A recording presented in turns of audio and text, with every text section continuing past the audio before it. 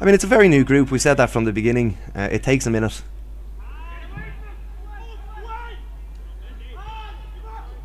And that header from Andrew Spain, no trouble at all to Kean Moore. Corners worked short, and there's an opportunity for a shot potentially. Mikey McCullough with a shot from range. Oh my! Keeper's made a great save, but he spilled it right at the feet of Mikey Raggett, who couldn't just find the ball in time. And Bean finds that bit of space on his left. Strike from distance, safe by the keeper, but he hasn't held it. And Kerry are in quickly to clear ahead of Mikey Raggett.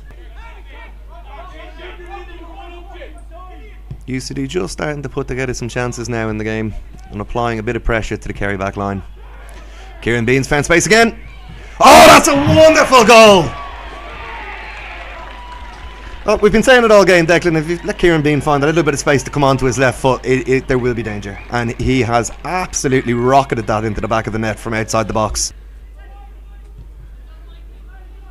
Now, Kerry FC are very advanced here as they try to work his chance.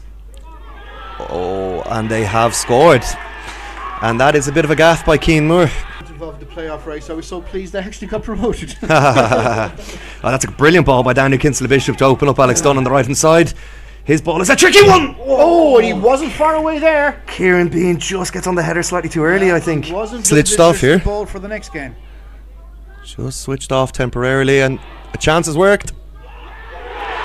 Uh, oh, Called off. Kerry FC thought they had a late winner.